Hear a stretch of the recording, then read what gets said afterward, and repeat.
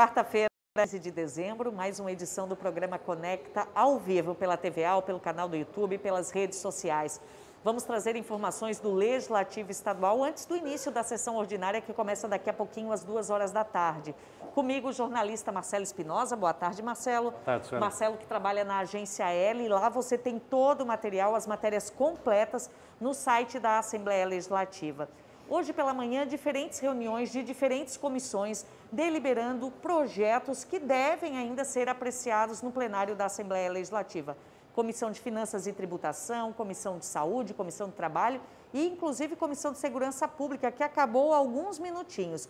Mas vamos começar pela Comissão de Finanças e Tributação. Marcelo, dois projetos a gente destaca diante de todos aqueles que foram apreciados na manhã de hoje, né? Isso, Suelen, um deles a gente falou ontem, ontem, aqui, que é o do Bolsa Estudante. É um projeto que o Executivo quer aprovar ainda esse ano para colocar em prática já no ano que vem, cria é, a possibilidade de pagar bolsas para até 60 mil estudantes do ensino médio, estudantes matriculados em escolas públicas do Estado. Uma bolsa de R$ 6.250 por ano, paga em 11 meses. Na Comissão de Finanças, houve uma mudança nessa proposta. Os deputados incluíram é, condicionantes. Então, uma delas, por exemplo, é que o aluno não seja reprovado de ano e a outra é uma duração, ou seja, um limite para a concessão dessa bolsa. Esse era um pedido, o um entendimento dos deputados para que houvesse mais critérios. Além desses critérios que os deputados incluíram, há outros que o Estado incluiu, como, por exemplo, a situação de, de, de carência socioeconômica. Né? As famílias que forem beneficiadas com essa bolsa, os alunos, no caso, terão que ter cadastro no CAD único.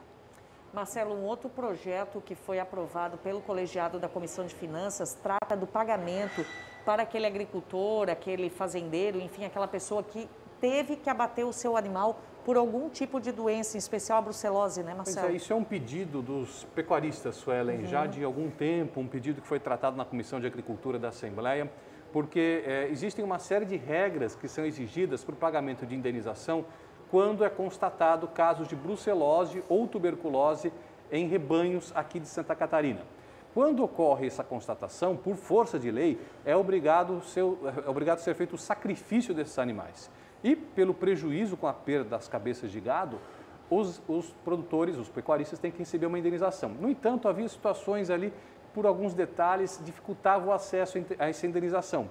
O objetivo desse projeto, que é um projeto do Executivo, é tornar mais acessível esses recursos, ou seja, permitir com que haja uma, mais, uma facilidade maior por parte dos produtores que tiverem seus rebanhos abatidos para acessar esse, essa indenização que consta em lei é um direito do produtor, do pecuarista que tiver, por um acaso, o seu rebanho abatido por essas doenças que eu falei, brucelose e tuberculose. Santa Catarina tem uma excelência muito grande no controle sanitário de seus rebanhos uhum.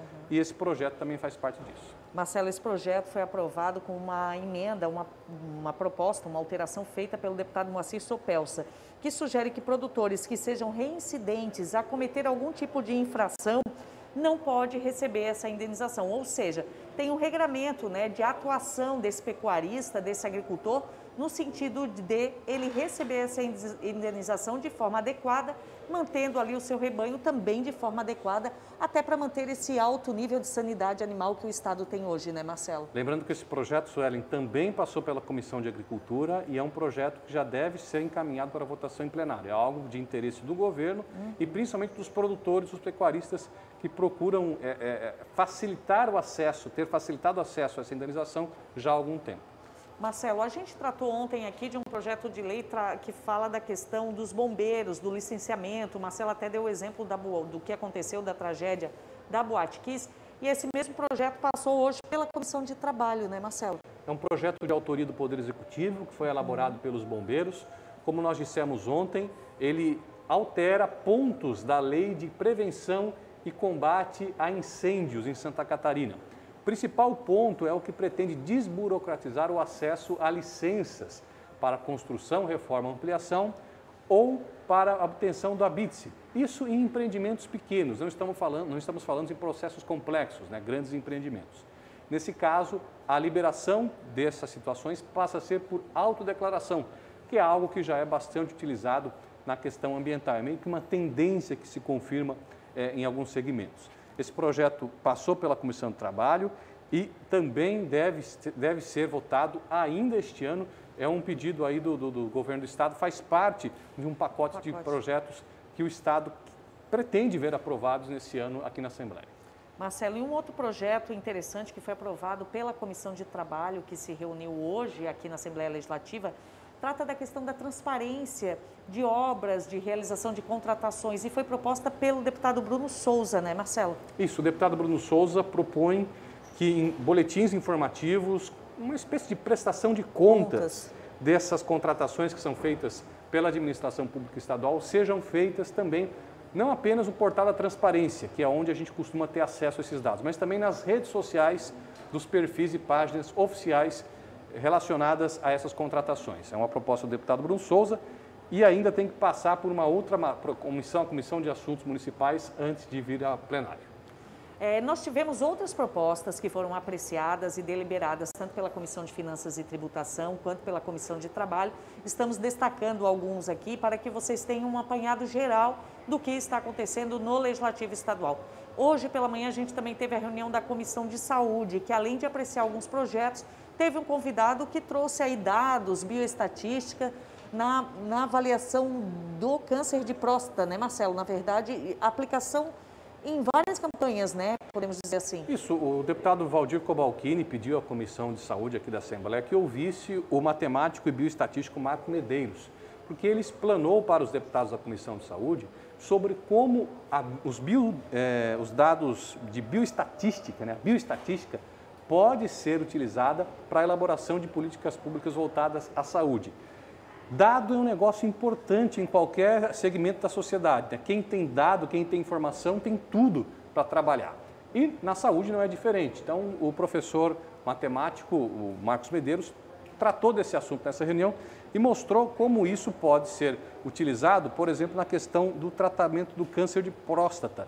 Como as bioestatísticas podem atuar não só na prevenção, principalmente na prevenção, para evitar a detecção de casos precoces dessa doença e evitar os, o agravamento. Porém, isso vai muito além do câncer de próstata, uhum, é algo que uhum. pode ser utilizado na saúde pública como um todo. Ontem, Marcelo, aqui na entrevista com o Dr. Vicente Caro Preso, deputado estadual e médico, ele falou sobre isso, sobre o uso de informações e de tecnologia para não fazer, por exemplo, o tratamento ou a prevenção da dengue da mesma forma que era feita cinco anos atrás. E eu acho que é nesta linha que o uso de informações e de dados bem aplicados, bem analisados, podem aí né, ajudar no tratamento, na prevenção e inclusive, às vezes, no momento como a pandemia da Covid-19, né, Marcelo, a importância de ter a informação, a importância de saber o que está acontecendo, né? Não só para ter políticas mais eficientes que de de fato atendam o cidadão, principalmente na área da prevenção, evitando que a doença ocorra, mas também para otimizar os recursos do orçamento da saúde, uhum. que apesar da Covid houve uma ampliação, geralmente são recursos que não, são, eh, não estão aí em abundância, né? precisam ser, recursos públicos ser tratados com muito cuidado. E a gente vai falar agora com o Rony, que está chegando aqui na galeria do plenário da Assembleia Legislativa, para saber mais detalhes e informações ali do ambiente virtual, das redes sociais da Assembleia Legislativa. Boa tarde, Rony. Olá, Marcelo, Suelen. A gente tem visto ultimamente, especialmente aqui na sala de imprensa, vários deputados concedendo moções né, a, a policiais, a, a personalidades, enfim, que se destacam. É um meio aí da Assembleia Legislativa poder homenagear algumas pessoas, alguns catarinenses, atletas, enfim, que se destacam em suas atividades. E o nosso destaque do deputado na rede de hoje traz o deputado Márcio Machado, que ele concedeu uma moção de aplauso a um fotógrafo lá da Serra, o Michel Woodson Legani, que ele registra aí o frio, as imagens da serra, toda a geada lá do, do, dos altos de cima da serra que são tão famosas é, no Brasil. Então, o deputado Márcio Machado fez essa postagem. Se você quiser saber mais, é só acessar lá o arroba Márcio Machado. E outro assunto, o Suelen Marcelo, é o nosso orçamento para 2022. Vocês têm falado aqui no Conecta também e a gente lá nas redes sociais também traz esse assunto para os nossos seguidores. Hoje a gente destaca aí uma reportagem da TVAL, da Comissão de Finanças, que trata aí da análise do orçamento e também as alterações no plano plurianual, que traz aí uma série de ações e obras em quatro anos aqui no Estado. E esse VT ele fala também um pouco das emendas, né? A gente teve várias emendas apresentadas pelos deputados, são cerca de duas mil em cada um dos projetos. E agora a gente está numa fase em que o ano está acabando e essa análise é intensa aqui na Assembleia, né? Então você Exatamente. pode acompanhar tudo lá nas nossas redes sociais, é só acessar o arroba Assembleia SC, a gente está lá na redação ligadinho em tudo que acontece e é só acessar nossos stories, o Twitter também, para ficar por dentro de tudo. Eu fico com vocês e bastante trabalho aqui hoje na quarta-feira movimentada na Assembleia. Obrigada, Obrigado, Rony. É isso mesmo. A quarta-feira está movimentada. Foram várias reuniões de comissões pela manhã. Você acompanha lá no Instagram, no Facebook, no Twitter da Assembleia Legislativa. Agora à tarde nós temos a sessão ordinária e por volta das quatro e meia da tarde nós vamos ter uma reunião conjunta das comissões de Constituição e Justiça, Finanças e Tributação e Trabalho e Serviço Público. E a gente vai falar um pouquinho sobre essa reunião, né, Marcelo? É uma reunião importante, em especial para a categoria dos servidores públicos do Estado, porque diferentes projetos de diferentes categorias podem ser analisados a partir desta comissão, desta reunião de comissões. Isso, Suelen. A tramitação conjunta desses são aproximadamente 29 projetos, mas três já foram aprovados. São os projetos que foram aprovados na semana passada do Magistério, Polícia Civil e agentes socioeducativos. Ainda há vários outros projetos, mais de 20, que tratam não só de reajuste do funcionalismo público do Poder Executivo, o DESC, é, IMA, ARESC, Secretaria da Fazenda, Secretaria da Saúde, mas também de outros poderes, Tribunal de Contas, Ministério Público, Tribunal de Justiça e até da própria Assembleia Legislativa.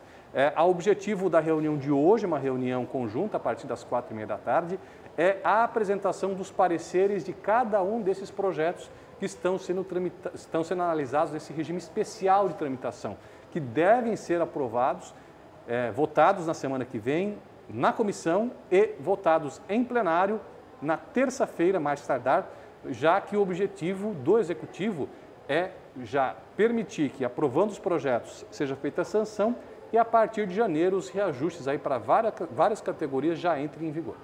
Importante salientar que nós teremos sessão hoje, quarta-feira, amanhã, quinta-feira, e segunda e terça e quarta-feira da semana que vem, nós teremos aí diversas reuniões, inclusive sessões ordinárias, para dar vazão, para dar seguimento, prosseguimento nestas propostas que estão aqui na Assembleia Legislativa, sendo avaliadas, discutidas pelos parlamentares, pelos deputados estaduais. E hoje também, no iníciozinho da tarde, teve a reunião da Comissão de Economia, né, Marcelo? Você acompanhou, né? Foram deliberados alguns seis projetos, três deles foram aprovados. Um projeto que trata da proibição do governo deletar de seus perfis oficiais mensagens e comentários públicos. Projeto da deputada Ana Campanholo recebeu parecer aprovado, favorável, foi aprovado, vem para votação em plenário. Outro projeto é a respeito de, da possibilidade dos advogados ser, é, autenticarem a cópias de documentos em processos relacionados à administração pública estadual. E também um projeto, esse projeto é do deputado Nilson Berlanda. E um projeto do deputado Bruno Souza, que possibilita que o serviço público de loterias de Santa Catarina seja explorado pela iniciativa privada. Esses três projetos já estão prontos para votação em plenário. E, na tua opinião, Marcelo, devem ser votados ainda esse ano? Ah, vai depender muito do andamento do, das comissões, porque, por exemplo, nós temos alguns projetos que já estão meio que sacramentados uhum. entre os líderes nas reuniões para tratar de votação ainda esse ano. Uhum. A expectativa é que eles venham. Inclusive, na ordem do dia de hoje, Suelen, uhum, é. nós temos 11 projetos já programados, uhum. mas deve vir mais, provavelmente, porque, inclusive, amanhã teremos votação de projeto também, quinta-feira pela manhã. Geralmente não ocorre votação de projeto, é só votação de redação final, moção, indicação, mas amanhã também teremos, porque a carga é realmente muito grande. Não bastasse só os projetos executivos, também tem projetos aqui de autoria dos deputados e os deputados querem ver seus projetos avançando pela casa. Marcelo, na ordem do dia de hoje, como você falou, nós temos diversos projetos, alguns até que a gente já discutiu aqui, porque foram aprovados em comissões, então a gente já relatou aqui. Um deles trata daquela questão das tatuagens ou colocação de piercing de animais, que deve ser apreciado hoje em plenário, né, Marcelo? Sim, projetos relacionados a direitos dos animais, né? tem vários que estão em tramitação na casa. Esse é um deles que você disse. Nós também devemos ter aquele projeto que trata da proibição de corridas de animais. Uhum. É, é uma, uma matéria que chegou a ser rejeitada pela Assembleia, mas foi retomada uhum. é, pela, pelo deputado Márcio Machado, que é o seu autor. Também temos um projeto da deputada Ada de Luca, que trata, esse sim confirmado para hoje, esse último que eu falei ainda não está confirmado, mas esse que eu falei agora, esse que eu vou falar agora está confirmado. É o projeto da deputada Ada de Luca, que cria um auxílio emergencial financeiro para mulheres que são vítimas de violência doméstica ou familiar. É um projeto no mesmo estilo do auxílio que foi pago pra, durante a Covid, as famílias, as mulheres que sejam vítimas e cujo caso seja enquadrado na Lei Maria da Penha, teriam direito a esse benefício de 600 reais mensais por um período de seis meses. Também uhum. temos, ah não, confirmado aqui o projeto de, da, das corridas, das vai corridas entrar, proibindo uhum. as corridas de cães, uhum. competições com que cães. Que tinha até aquela polêmica dos cães galgos, né, que são aqueles cães altos que as pessoas promovem, aquelas corridas, competições. E daí teve essa polêmica, esse projeto foi retirado, uhum. agora voltou e ele vai realmente ser apreciado hoje em plenário. Está na ordem do dia. É um dos 11 projetos, mas tem outros, viu? Provavelmente uhum. que devem entrar, porque a pauta de projetos é muito grande. Nós temos é, não só os projetos executivos, esses devem ser votados na semana que vem, o foco deve ser na semana que vem, até porque são projetos mais polêmicos. Uhum. A coisa de reajuste, enfim, isso aí acaba mobilizando muito o funcionalismo público e reflete aqui no posicionamento dos deputados. Mas é, esses projetos de origem legislativa, eles devem vir com mais força nessa semana. E a gente deve estar, tá, já encerrou a Comissão de Segurança Pública, encerrou agora há pouquinho, enquanto a gente estava aqui no ar, a produção trouxe para nós, e está iniciando a reunião da Comissão de Direitos Humanos. Ou seja, são várias reuniões acontecendo simultaneamente no Palácio Barriga Verde, em Florianópolis. Segurança Pública, a gente já tem algumas informações, né, Marcelo? É, inclusive, um dos projetos que a gente falou é aquele que foi aprovado hoje na Comissão de Trabalho, que é da prevenção, normas de prevenção e incêndio, de combate a incêndio. dos bombeiros, né? dos bombeiros. Uhum. Porque o objetivo é que esse projeto venha para plenário o mais uhum. rápido possível. É um projeto que tem interesse aí do Poder Executivo e também do setor produtivo, né, que vê aí a possibilidade de reduzir a burocracia para a obtenção de algumas licenças Sim. que são necessárias para a realização de obras. É, tem projeto também de, com relação à denominação de companhias da polícia, mas realmente o, uma, um dos mais relevantes é esse do, do, dos bombeiros, o projeto de prevenção, alteração na lei de prevenção combate a incêndios. Mas, Marcelo, ontem na sessão, a gente antes fez aqui o Conecta ao vivo, e falamos de alguns projetos que seriam apreciados e nós tivemos algumas aprovações, ou seja, projetos que agora seguem para a sanção do governador, né? Isso, um deles, o que gerou mais polêmica, gerou mais discursos, foi o projeto da política estadual de transição energética justa, né? um nome bonito. Para a região sul. Na prática, que, qual é o objetivo desse projeto? É estabelecer é, uma política de longo prazo, de, de, de muitos anos, para que a região carbonífera deixe de ser dependente da exploração do carvão mineral. Porque hoje, o carvão mineral do sul, ele basicamente ele é utilizado para geração de energia na usina termoelétrica Jorge Lacerda, lá em Capivari de Baixo. Cerca de 20 mil empregos estão relacionados com essa cadeia do carvão. O objetivo dessa política é fazer com que, aos poucos, perca-se a dependência dessa produção de carvão uhum. e aí o Estado possa utilizar de outras ferramentas para gerar emprego, gerar renda, principalmente Sim. na área de tecnologia da informação. Uhum. E de energias limpas, energias renováveis, renováveis, energia solar, energia eólica, porque de fato o Brasil assinou acordos internacionais para reduzir e até acabar no longo prazo com o uso de combustíveis fósseis, carvão mineral, e não vai mais poder utilizar daqui a alguns anos isso. E a região hoje depende muito disso. Os deputados falaram muito sobre essa questão. Né? Eles entendem da necessidade de trocar o carvão mineral por energias limpas.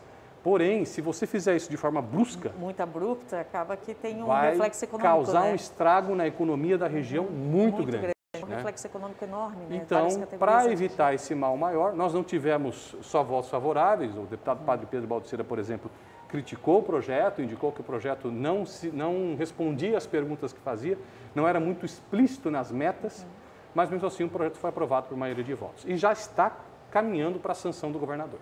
Marcelo, então hoje existe a expectativa da sessão ordinária, votação desses projetos que nós citamos aqui para vocês, e às quatro e meia da tarde, também com transmissão ao vivo pelo YouTube, pelas redes sociais, aquela reunião conjunta que deve apreciar boa parte dos pacotes do Instituto do Meio Ambiente, da Agência Reguladora de Saneamento de Santa Catarina, dos servidores da saúde, servidores da infraestrutura, né, Marcelo?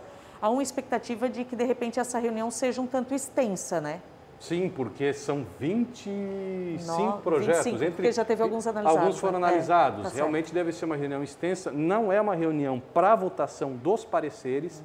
é uma reunião para apresentação dos pareceres. E aí vai ter aquelas discussões As emendas também, em cima. Né, Marcelo? Emendas. Porque os deputados podem, né? Aliás, é um, um direito, enfim, uma deles. prerrogativa do parlamentar de fazer emendas, sugestões ao texto original dos projetos. E quando se trata aí da carreira pública, né, enfim, plano de carreira, reajuste salarial, redução de categoria, de nomenclaturas, os deputados também ouvem os sindicatos, ouvem as categorias e a partir daí começam a construir emendas que podem ou não ser acatadas. Nessa reunião, algumas emendas devem ser sugeridas, né, Marcelo? Chegaram a ser apresentadas mais de 70 emendas para esses projetos, Ellen. Bastante. Né? São emendas de origem parlamentar, porque o objetivo é que realmente haja, digamos assim, o maior número possível de que isso não cause problemas para o Estado futuramente, né?